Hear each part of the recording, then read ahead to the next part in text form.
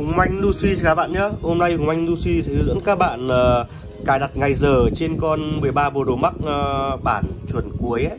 Sách tay hàn, độ camera, độ đèn flash và độ cấu hình nhá. Uh, Tại vì nhiều bạn uh, không biết cách cài đặt ngày giờ. Cài đặt ngày giờ thì rất đơn giản các bạn ạ. Thứ nhất là các bạn chỉ cần lắp sim vào là nó tự cập nhật ngày giờ luôn.